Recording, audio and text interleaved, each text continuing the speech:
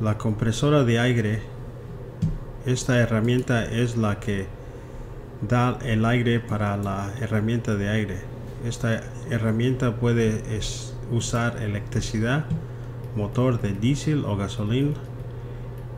La energía de motor pasa por una compresora que pasa el aire a compresión a un tanque para usarlo cuando lo necesita.